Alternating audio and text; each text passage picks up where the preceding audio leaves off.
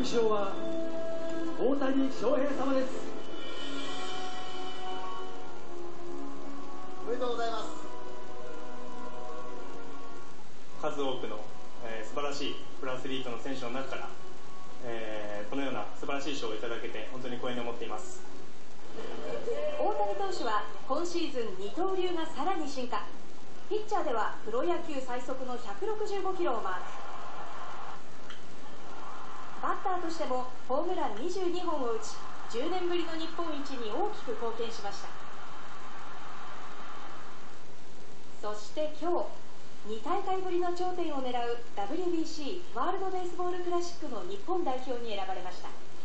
この舞台でやりたいなと思っていた場所なので精一杯自分なりに日本代表のためにしっかり頑張っていきたい。大谷投手の所属する日本ハムはチームとしても殊勲賞を受賞。25年ぶりにセ・リーグを制した広島も殊勲賞を獲得しました。を打ち10年ぶりの日本一に大きく貢献しました。そして今日2大会ぶりの頂点を狙う WBC 数多くの、えー、素晴らしいプロアスリートの選手の中から、えー、このような素晴らしい賞をいただけて本当に光栄に思っています。